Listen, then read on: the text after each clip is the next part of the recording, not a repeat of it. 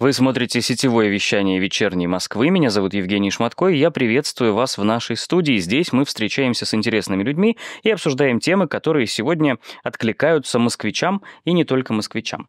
А на данный момент в Москве идет прием заявок от социально ориентированных некоммерческих организаций на конкурс грантов «Москва. Добрый город». Это значит, что сегодня мы будем говорить о добрых инициативах. И у меня в гостях первый заместитель руководителя Департамента труда и социальной защиты населения города Москвы Москвы Александра Александрова. Здравствуйте. Здравствуйте. Готовы ли вы сегодня поделиться и раскрыть все секреты и о взаимодействии с некоммерческими организациями, и о тех инициативах, которые они, может быть, уже проводят в жизни? Конечно. Отлично. А также у меня в гостях генеральный директор Центра развития социальных инноваций, технологий и возможностей, директор Национальной ассоциации участников рынка ассистивных технологий Аура Тех Иван Бирюков. Здравствуйте, Иван. Здравствуйте, Евгений. Ну а вы, собственно, раскроете нам, надеюсь, э, секреты о том, как же работают некоммерческие организации сегодня и чем вообще э, да, готовы порадовать и город, и департамент, и, собственно, на какие э, грантовые собственно, средства поддержки рассчитывают. Да? Тоже на это очень надеюсь. Отлично. А, давайте начнем а, с самого начала непосредственно. Александр, к вам вопрос. Э, расскажите, пожалуйста, как сегодня департамент вообще, а, собственно, сотрудничает с некоммерческими организациями? Потому что не всегда, да, нам, как жителям Москвы, видно работу НКО, но мы понимаем, что мы сталкиваемся с инициативами, город преображается, да, какие-то проекты возникают, и нам от этого хорошо, жизнь наша улучшается. Как построена ваша работа департамента департамента и НКО? Социально ориентированные некоммерческие организации или благотворительные организации или волонтерские организации очень важные партнеры департамента в оказании социальных услуг. Вот если государство оказывает большие масштабные проекты, то всегда есть уникальный личный запрос человека в какой-то сложной ситуации. И вот на такой запрос лучше всего отвечают некоммерческие организации. И для того, чтобы их услуги были видны, и для того, чтобы эти услуги были качественны, для того, чтобы они были максимально направлены на каждого человека, мы, как департамент, конечно, оказываем поддержку. Но самая главная поддержка – это прежде всего предоставление грантов. И сегодня мы будем говорить о вот нашем большом конкурсе грантов 400 миллионов рублей конкурс, который разыгрывается, эти деньги будут представляться некоммерческим организациям. И сейчас самое время подать заявку. Так, а, значит, получается, что конкурс это такой один из механизмов как Да. раз-таки поддержки некоммерческих организаций. Называется он «Москва. Добрый город», Так и есть. а значит, направлен на нас, на москвичей, на жителей, собственно, столицы и, соответственно, да, помогает э, делать жизнь лучше. Расскажите, пожалуйста, э, поскольку я знаю, что конкурс уже не первый год проводится, сколько уже лет? Уже будет шестой раз, когда мы... Шестой раз. Да. Это колоссальная цифра, колоссальная цифра и грантовой поддержки, и колоссальная цифра, да, по количеству лет, которые конкурс идет. А это значит, что оправдывает себя, и значит, что уже какие-то результаты были достигнуты. Поделитесь этим. Но, безусловно, представьте себе некоммерческие организации, им очень сложно искать финансирование. Это либо какие-то гранты, которые организации получают от разных организаций, в нашем случае от правительства Москвы. Есть донаты от людей, есть разные механизмы, но гранты, которые предоставляет государство, и предоставляет это ежегодно, в понятный период, вот этой осенью, и мы это шестой раз делаем, значит, организация может планировать свои проекты и может рассчитывать на понятный механизм финансирования. И очень важно, что организация, получив поддержку от города, может запланировать годичную программу, потому что мы выдаем эти гранты на год вперед, и организация сможет весь 25 год распланировать объем помощи, кому они хотят помочь, кто из людей получит ту или иную поддержку, какой она должна быть. И на эту деятельность у компании, у небольшой организации, которая очень часто находится в конкретных районах, а, по, по всей Москве будет большая программа финансирования, и можно будет оказывать поддержку людям прямо рядом с домом. То есть получается, что основная выгода для НКО в стабильности той самой, да, когда мы говорим о том, что это не разовый проект, это действительно проект, который может существовать из года в год. Конечно. И у нас есть много организаций, которые подают на эту поддержку все время. Это такие большие опытные организации. Но что очень важно, что это могут быть и молодые организации. Ведь а, некоммерческие некоммерческие организации – это очень динамичные организации. Много появляется новых. И нас, например, радует, что каждый год где-то одна треть организаций – это новые организации, и которые будут на нашем конкурсе первый раз, и мы их также угу. ждем. То есть они привносят новые идеи, новые проекты, как раз как свежая кровь, так вливаются да, вот в эту кровеносную систему Либо города. они могли быть только созданными, потому что появилась новая организация, у них появились свои идеи. Мы как раз ждем на конкурс и опытные организации, и молодые. Но нам бы хотелось, чтобы это были организации, у которых есть хотя бы один год опыта работы, угу. потому что все-таки услуги, которые мы собираемся поддерживать, а, они должны иметь ну, некое основание и должны быть хорошего качества. То есть должен быть уже опыт работы и уже какие-то результаты, да? Это да. не совсем такая организация, созданная с нуля, которая приходит и на пальцах пытается объяснить, а что же они хотят улучшить. Все-таки, когда мы говорим о социальной поддержке и конкретной помощи людям, мы фактически говорим о очень сложной целевой аудитории. То есть мы помогаем людям, которым тяжелее, чем кому-либо. И здесь нам важно, чтобы помощь была и с точки зрения методик правильной, и с точки зрения команды, которая будет оказывать эту помощь, она была хорошо выверена. И это все-таки все-таки не просто некое событие. Да? Есть много организаций, которые могут поддерживать и реализовывать события. Мы же поддерживаем организации, которые предоставляют социальные услуги или проекты. Mm. И здесь очень важен опыт и важно качество. Александра, а на какую поддержку могут рассчитывать некоммерческие организации? 400 миллионов рублей – это большой грантовый фонд, и каждая организация может выбрать одно из трех направлений. Первое направление – это поддержка проектов до 1 миллиона рублей. Второе направление – это поддержка от миллиона до 5 миллионов рублей. И третье – грантовая поддержка – это от 5 до 10 миллионов рублей. Но это по гранты, которые могут а, поддержать крупные организации, которые реализуют системные масштабные проекты. Понятно. Ну, давайте тогда перейдем к сути, э, к основному, собственно, основные условия, основные изменения, может быть, конкурса в этом году, если мы сейчас не говорим о новичках, да, для тех, кто впервые сталкивается, а вот уже для опытных организаций, чем будете удивлять, что припасли такого нового? Что важно, а мы точно знаем, какие услуги востребованы. И из года в год есть такие программы, как поддержка людей или семей, где есть дети с инвалидностью, где есть взрослые, которые нуждаются в постоянном уходе и живут дома. И это проекты могут быть связаны и с реабилитацией этих людей, и, возможно, даже проекты связаны с передышкой, потому что иногда мамам и родственникам тяжело ухаживать э, за людьми. И вот такие программы, например, как передышка, помогут ну, семье обрести какой-то дополнительный ресурс, когда все их основные ресурсы тратятся на уход за такими людьми. А в этом году мы также подумали о новой целевой категории, она достаточно сложная.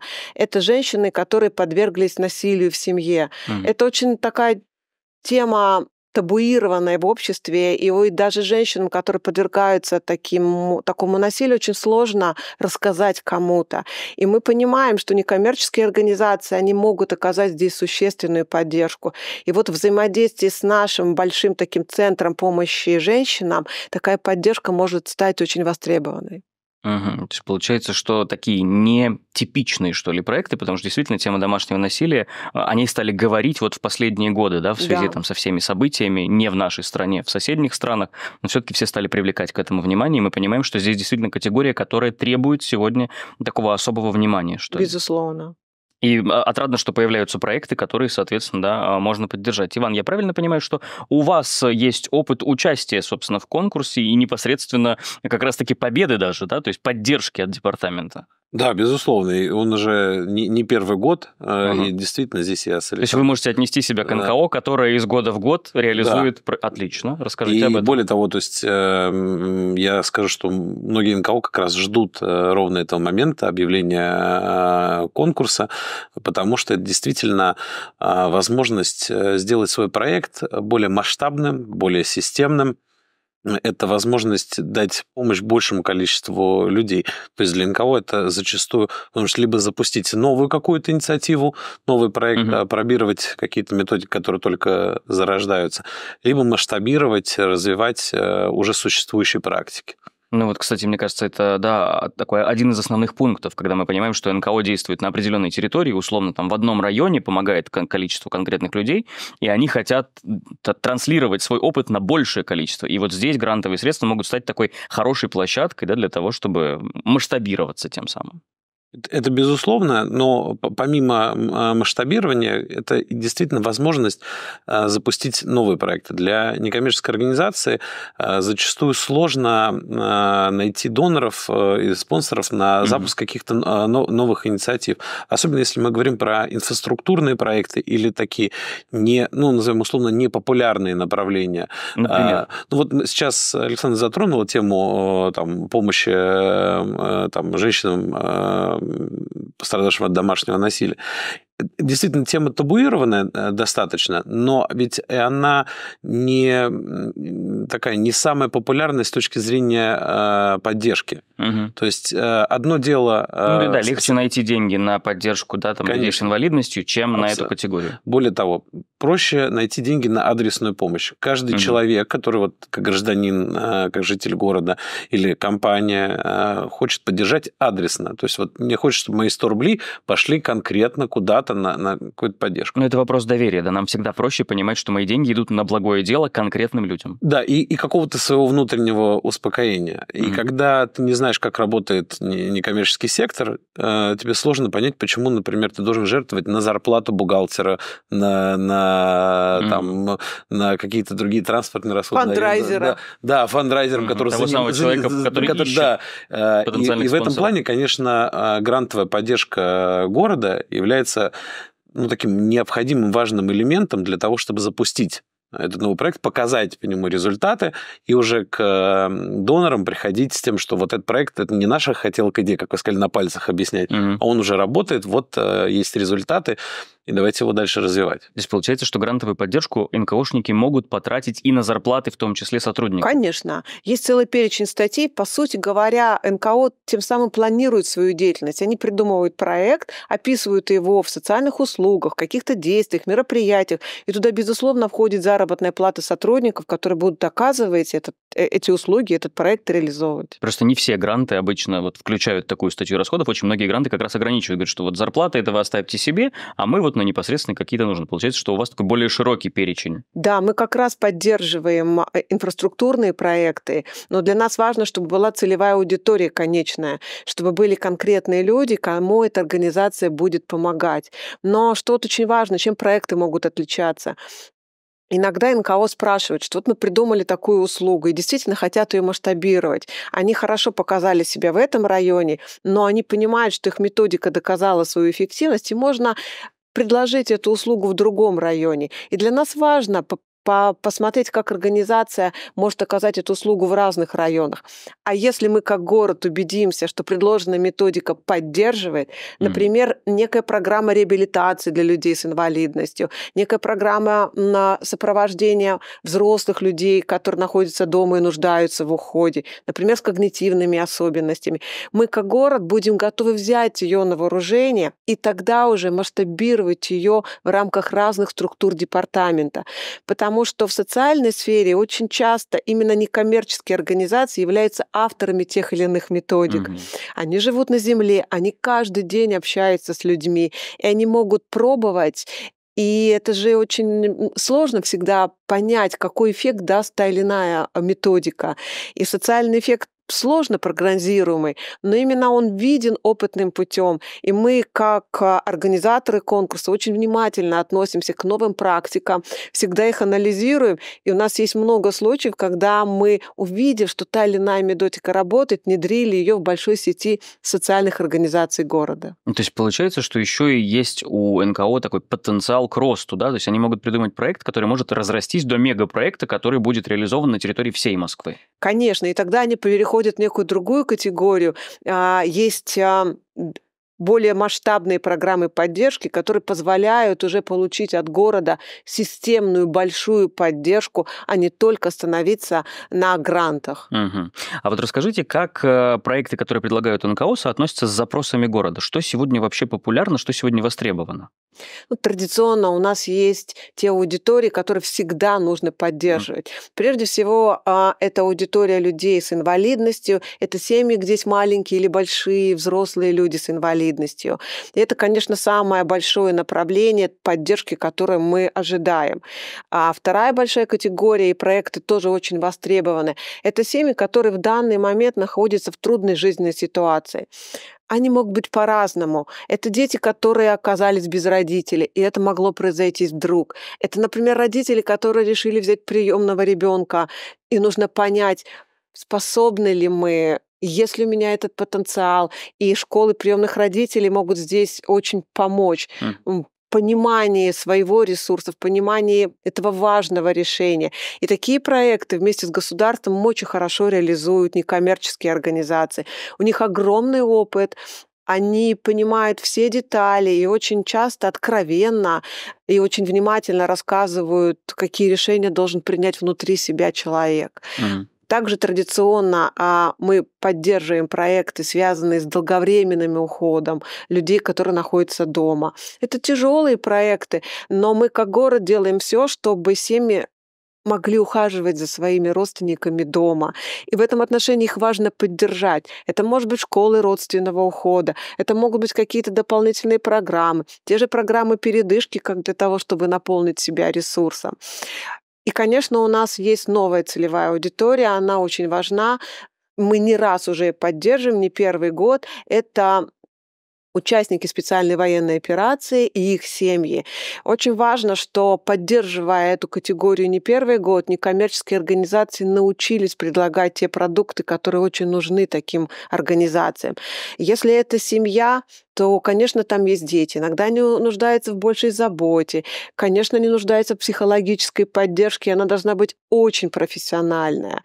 Но и есть несколько особых услуг. Например, а, а, если кто-то из бойцов находится на реабилитации в центре или проходит медицинское лечение в госпитале, есть такие услуги, которые НКО будет оказывать лучше. Например, сделать стрижку, побрить. И очень часто это делают НКО и делают это хорошо. М, даже так, Да. интересный опыт. Вообще, а, очень хорошо, что идет взаимодействие со всей семьей, да, потому что очень многие же не вникают в проблему, думают, ну вот там есть человек с инвалидностью, вот нужно ему адресно помочь, и все будет хорошо. Но когда у этого человека, да, с ограниченными возможностями, вокруг него есть свой социальный круг, и та семья, которая тоже постоянно находится, да, вот в этом контексте, они действительно устают, у них действительно есть а, определенного рода проблемы и трудности, с которыми они сталкиваются каждый день. И вот очень здорово, что такое решение комплексное, что ли, да? Иван, а с вашей точки зрения, какие сегодня направления востребованы в городе? Вот как человека, который представляет НКО.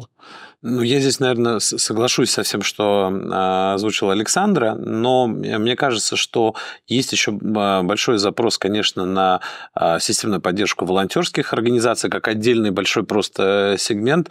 Мы видим даже по своей практике, что растет количество горожан, которые хотят вовлекаться в эту историю, хотят помогать помогать эм, не только НКО, но и конкретно друг другу, жителям, оказавшимся по тем или иным причинам в трудной жизненной ситуации. В общем, мы часто так употребляем этот э, термин, но на самом деле там мировая практика показывает, что, к сожалению, никто из нас не застрахован от того, чтобы оказаться в той, в той или иной э, жизненной ситуации. Даже вот Александр сказал про помощь в реабилитации, например, организации доступной среды и так далее. Mm. А вот э, когда человек получает там травму ноги, он резко начинает э, просто не, ее можно вылечить там э, перелом. Но на какой-то этап, Но на да, какой-то этап он, он начинает очень четко чувствовать те проблемы, с которыми сталкиваются, например, граждане, передвигающиеся на креслах-колясках. То есть и так далее, и так далее. И люди начинают об этом задумываться, начинают а, вовлекаться. Это, конечно, важное направление. Действительно, и вот э, помощь э, ветеранам СВО, она становится еще э, более значимой. Я здесь дополню, что это не только комплексно помощь еще семье. А, это дальше человек же выходит в общество, он приходит на работу.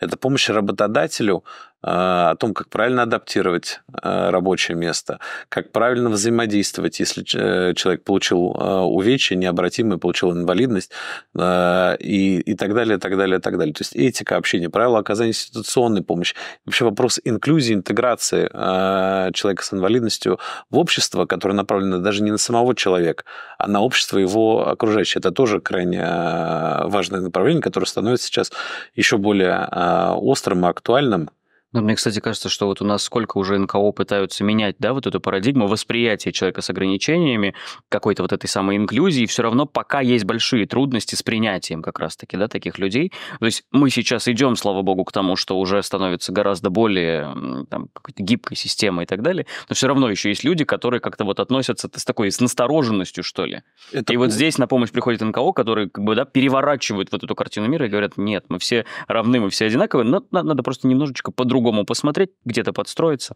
и это здорово. Наша практика показывает, что на самом деле самое главное дать человеку об этом задуматься.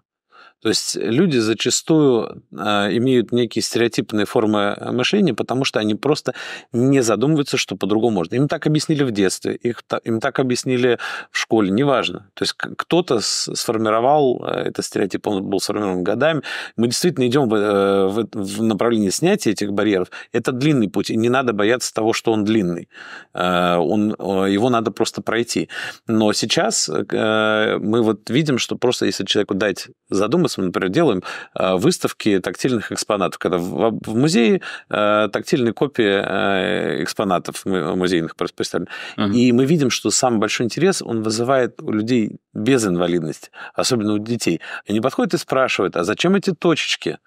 Там, им начинают родители объяснять, что есть другие детишки, у которых там, проблемы со зрением, они начинают думать, о, и, ну, и начинают про это задумываться, и, и вот этот барьер начинает потихоньку нам просто нужно донести, помочь донести до людей информацию, что это может быть, что э, все эти барьеры можно снять. Мы можем долго говорить про направления, да, востребованные сегодня, но давайте все-таки еще раз проговорим об условиях. Кто те самые люди, которые могут подать заявку на участие в конкурсе? Это любая некоммерческая организация, которая зарегистрирована в Москве, и она работает в Москве от года. Угу. Никаких но... других ограничений нет. Звучит красиво, все здорово, но мы прекрасно понимаем, люди, которые так или иначе сталкивались с грантами, да, знают, что это непростой опыт, потому что огромное количество документов, да, нужно представить информацию четко, правильно, грамотно, нигде не ошибиться. Вы уже упомянули, да, что нужно правильно выбрать номинацию, то есть там направление нужно. Как э, вот здесь обстоят дела? Помогает ли сегодня город и департамент, соответственно, с заполнениями этих самых заявок и с пониманием вообще, куда бежать, какие бумаги собирать и куда нести? Евгений, я вот как раз хочу разрушить этот стереотип писать заявки непросто, но технологически стало писать заявки гораздо проще. И в этом году мы сделали еще один шаг навстречу, чтобы организациям было писать совсем просто. У нас онлайн-система подачи заявок. Вы можете писать эти заявки в любом месте, где вы находитесь. И мы сделали много подсказок. Мы сделали очень хорошую школу обучения грантам, которая помогает, а, которая помогает писать эти заявки. И это, на эту школу посетило уже достаточно большое количество организаций. Но очень важно, что если организация именно сейчас пишет заявку, можно запросить консультацию у наших сотрудников, и мы с удовольствием поможем, расскажем, ответим на все вопросы. Более того, у нас теперь появился такой очень простой телеграм-канал, где мы мы даем все лайфхаки, как писать заявку, рассказываем о всех новостях. У меня есть только один главный совет. Нужно отложить все и сесть писать заявку. Потому что если вы ее напишете уже сейчас и подадите, то можно будет ее проверить у наших опытных консультантов. И если там есть какие-то небольшие отчеты, какие-то расхождения, какие-то небольшие ошибки, они с удовольствием скажут, и у вас будет еще время на то, чтобы сделать так, чтобы именно ваша заявка победила. То есть, кто первый встал, того и тапки. Чем Абсо... раньше подадите, тем больше будет возможности что-то подправить, Евгений, подкорректировать. Вы совершенно правы. Вот наш опыт показывает, что чем раньше люди подают заявку, тем качество ее выше. На 30% повышается осмысленность заявки, ее качество. А в этом году у нас будет очень серьезный пол экспертов. И мы сделали это специально, мы сделали, подобрали таких экспертов, которые очень хорошо знают разные практики, имеют узкую специализацию, понимая, как целевую аудиторию, так и методики. Это значит, что они будут смотреть и очень объективно оценивать эту заявку. Надо, надо писать заявки. Мы видим, что много личных кабинетов открылось, но важно сейчас написать заявку и нажать эту таинственную волшебную кнопку «Отправить заявку» для того, чтобы увеличить свои шансы на успех. Ну и опять же, вы же понимаете, друзья, что кто первый отправляет заявки, значит, мотивация выше. Да, мне кажется, все равно, ну, это такое первое, о чем мы подумаем. Если человек уже хочет хочет, у него уже есть проект, у него уже горит глаз, значит, нужно не терять время. Но есть ведь и те, кто не знал про школу, да, там, грантовой да. поддержки, как-то пропустил эту информацию. Ну или просто в силу того, что большая занятость, человек в полях, да. вы говорите, да, потому что мы понимаем, что там, сотрудники НКО это те люди, которые перманентно каждый день кому-то в чем-то помогают, и, как правило, у них, возможно, просто нет времени на там, да, лишнего уделить какой-то информации. Что делать таким, кто пропустил школу, но думает подавать заявку все-таки? Все так и есть. Некоммерческие организации – это маленькие организации. Там работают, ну, наверное, пять человек. Ну, это это такой средний размер некоммерческой организации. И действительно, каждый человек на счету. Но вот надо а, отложить все, и сейчас сосредоточиться на том, чтобы писать заявку. Что можно сделать? Ну, во-первых, мы сделали очень удобный личный кабинет, и туда могут зайти а, разные люди и писать свои блоки. Например, финансист будет писать финансовое обоснование. Руководитель mm-hmm. проекта может писать, а что за проект и какая Общую методика, какая, соци... да, какая социальная необходимость в этом проекте. И я повторяю, всегда можно обратиться за помощью к нашим консультантам. Работает горячая линия, работают наши консультанты. И эта горячая линия, она фактически круглосуточная. Если что-то не получается, пожалуйста, не ждите, просто набирайте наши телефоны, звоните, пишите нам. И наша горячая линия, безусловно, ответит на все, все вопросы и поможет НКО сделать так, чтобы качество заявки было высокое. Ну а если вы прямо сейчас смотрите наш эфир, то сайт добраяmoсква.ру для вас заходите, заводите личный кабинет и, собственно, подавайте заявку. Отсюда следующий вопрос, логичный вопрос. А какие сроки? До какого числа нужно успеть подать заявку? А горячее время до 30 сентября мы принимаем заявки. 30 сентября период приема заявок будет завершен, и дальше мы уже приступим к оценке этих заявок. А 30 сентября в какое-то определенное время? Или вот в 00, как только Я думаю, что все-таки я думаю, что мы будем смотреть, а много ли людей нажимает на клавиши в этот момент. И, наверное, э, ну, так традиционно бывает, а, наверное, это будет все-таки э, до поздней ночи. Вот так получается. Да. То есть вы прямо в моменте мониторите, и, как правило, ну, есть наверняка же, да, люди, которые в последний момент стараются всегда впрыгнуть есть. в всегда, вагон. Всегда Наверное, есть. даже большая часть. Всегда есть, но, повторяю, есть связь. Если организация пишет заявку последовательно за несколько недель, качество заявки будет выше. Дорогие НКО, мы действительно вас ждем, мы уверены в вашем успехе, и, конечно, заходите на наш сайт, подавайте заявки. Главное, нажимайте на кнопку «Отправить заявку». Ну, попробуем сейчас добавить уверенности. Иван, расскажите о своем опыте. Действительно ли написание заявки это такой сложный, такой долгий процесс, ответственный процесс? Он очень ответственный процесс. Я здесь хочу всем тоже, кто э, не участвовал или участвовал, но не, не побеждал, несколько таких э, советов э, из, изнутри дать. Э, первое, действительно, э, э, важно сесть и написать хотя бы основную рыбу заявки сразу, не, не отвлекаясь, не откладывая это на, на последний момент. И... Это цель, задача, наверняка, да, какое-то описание да, проекта, то это, есть основная это, информация. Это бюджет, Штат, команда и, и так далее. С бюджетом, наверное, сложнее, там все-таки надо считать. А вот что касается команды, этапов и так далее, это уже, наверное, проще. Но, но вот как раз вещи, которые в том числе требуют дополнительной проработки, такие как бюджет, лучше как раз точно не откладывать на последний момент, момент, э, потому что риск э, ошибки достаточно высокий. И поэтому очень здорово, что появилась э, такая опция, что твой проект могут проверить, и дать какие-то рекомендации, что, что поправить. Это, то есть всем советую точно воспользоваться этой опцией. Она только в этом году, да, появилась? Нет, она, она уже какое-то время была. Ну, в прошлом году, по-моему, то, то, тоже. Она была, она была, безусловно, но в этом году мы можем уделить больше внимания, а, вот. потому что мы хотим, чтобы качество заявок выросло. Угу. И, э, и второе, наверное, как раз э, тем организациям, которые думают, вот я сейчас э, должен быть там, там, там, вот то, о чем мы говорили, что сложно выделить время на иногда эмоционально не, не настолько привлекательную задачу, как вот здесь меня ждет человек, которому нужна помощь, mm-hmm. а здесь мне нужно что-то писать. Я, по крайней мере, своим коллегам такой вот тезис сказал, что если ты не сможешь сделать проект, вот его описать, не сможешь получить поддержку, просто знай, что 25 этом году какое-то количество людей окажется без твоей поддержки. И вот вы выбери сейчас. Один с... сейчас или многие потом. Да, да? Это, это важный тезис, который мне хочется, чтобы у коллег он э, в голове так сформировался, потому что мы пишем заявку не для себя. Мы пишем заявку не для департамента. Пишем заявку для того, чтобы получить возможность поддержать большее количество людей. И это то, как мы э, сможем донести информацию о проекте, является в том числе такой личной, на мой взгляд, ответственностью руководителя организации некоммерческой. И э, второй такой, ну, как бы не, не менее важный, э, как мне кажется, момент того, что когда НКО пишет заявку, мы все прекрасно знаем что у нас внутри. Мы знаем, что там практики работают и так далее, и так далее. Но я, как еще человек, помимо руководителя НКО, являюсь там членом экспертного совета, наверное, почти всех там грантовых э, конкурсов, которые существуют. Иногда догадаться то, что находится в голове человека, который писал заявку, достаточно сложно.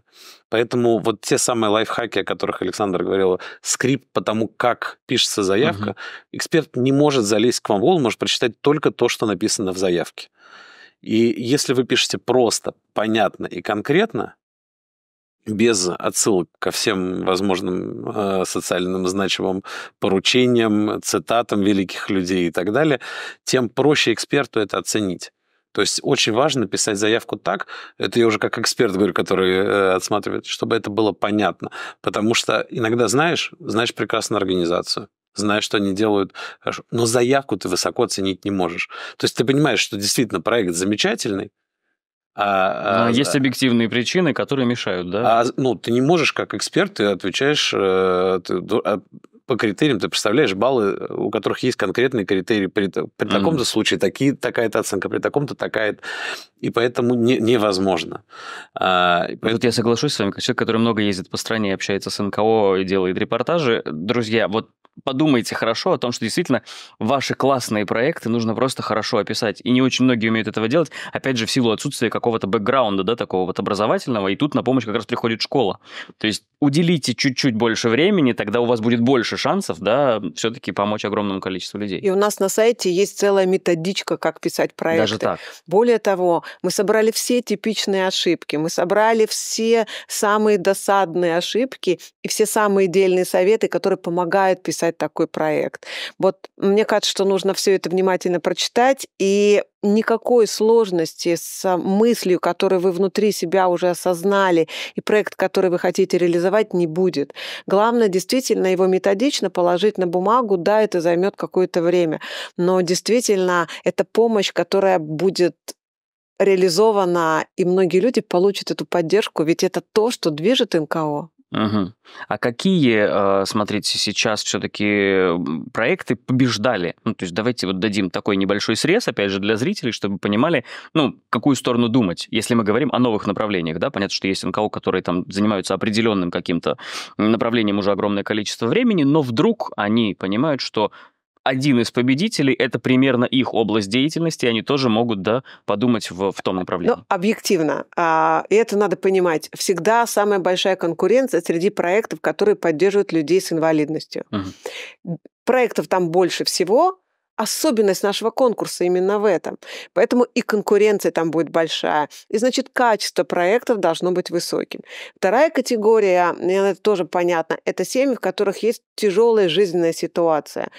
А, могут быть разные. Это может быть семья с подростком, у которого сейчас такой сложный период. Это может быть э, маленькая мама, которая стала мамой, Многодетные Первый раз. семьи, да, наверное? Может быть, какая-то сложная семья и сложная история многодетной семьи. Это всегда проекты, которые набирали большую группу поддержки, а, и был достаточно большой конкурс. Третье, такой по... Третье место занимали проекты, связанные с поддержкой, поддержкой людей, исключенных из социума.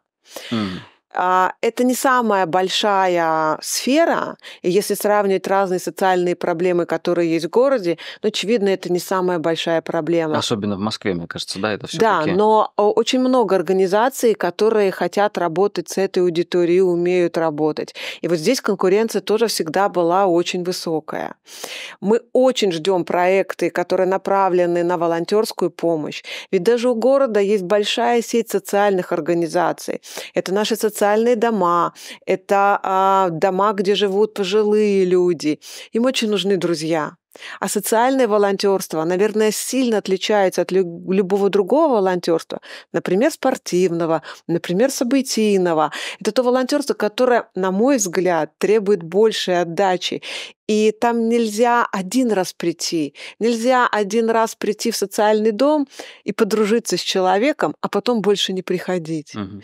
То есть это очень ответственная такая программа и выбор для человека. И поэтому мы очень ценим такие проекты. И социальное волонтерство — это большая системная работа. Для того, чтобы ее оказывать, нужно быть очень опытными организациями и действительно реализовывать вот тот добрый потенциал москвичей, который, конечно, есть в наших горожанах. Вот эти проекты мы тоже, безусловно, очень ждем. Отлично. Ну, кстати, вот если вы сейчас прямо в моменте думаете, чем помочь, найдите огромное количество фондов, вы как минимум можете принести еду э, там, да, пожилым людям, у которых нет возможности там куда, куда-то отправиться. Это такие инициативы, которые, казалось бы, о них не очень много говорят, но они на поверхности. То, что Евгений, вот каждый. можно я прям... Вот еду не надо. С едой у нас в Москве в порядке все. И на- Вот, кстати, это о- интересная очень мысль. важно. Э, Очень важно, что действительно Москва требует другую помощь. Нам очень важно внимание, нам очень важна психологическая поддержка. Мы живем в большом городе, и иногда в большом городе мля- люди могут чувствовать себя одиноко. И вот умение поддержать человека, поддержать человека пожилого возраста, пойти с ним на прогулку, посмотреть какой-то фильм, выпить чашку кофе или чая в наших чудесных кофейнях, это гораздо более ценно.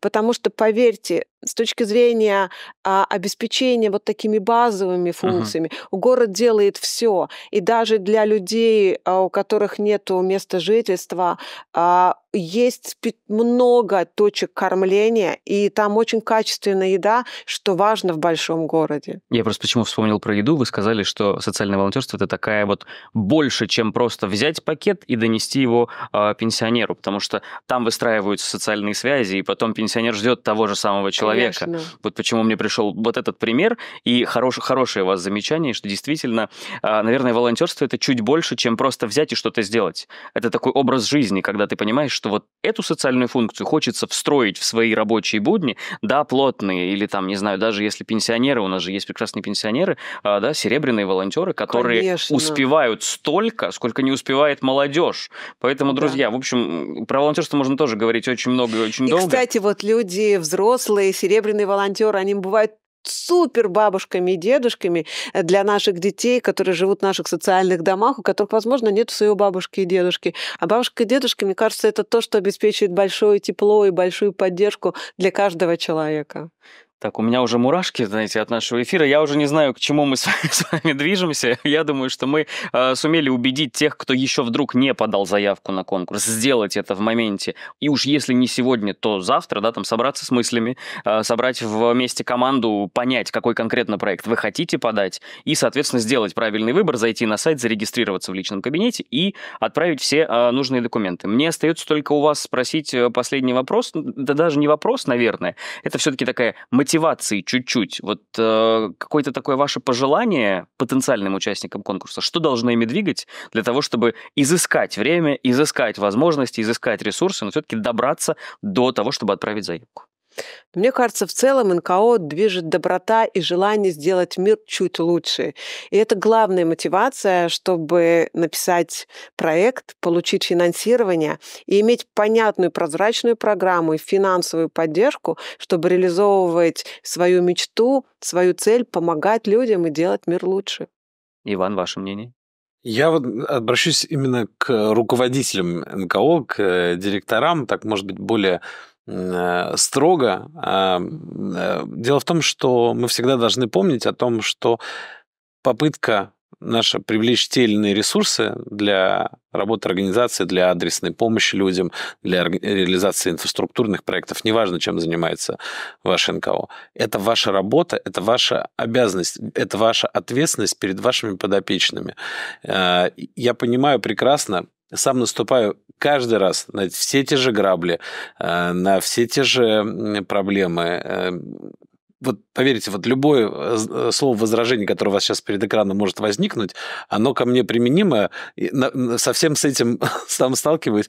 И, блин, ну давайте помнить о том, что мы это делаем не ради э, себя, не ради департамента, а ради наших подопечных. Поэтому давайте сделаем это хорошо и вовремя. Спасибо вам большое, друзья, что рассказали о такой возможности, как конкурс э, да, «Добрый город», Москва «Добрый город». А мне остается только пожелать нашим зрителям э, из числа некоммерческих организаций не терять времени, действительно пользоваться теми инструментами, теми ресурсами, которые дает Москва, для того, чтобы сделать жизнь людей вокруг не просто лучше, а действительно, может быть, кому-то разнообразить э, эти самые скучные будни, эту рутину, кого-то действительно спасти, потому что мы понимаем, что вот, что называется, многообразие целей и задач у НКО можно перечислять бесконечно. Главное, что вы действительно делаете качественные результаты, которые влияют на жизнь всех людей. В принципе, спасибо, что смотрели наш эфир. Удачи вам в конкурсе.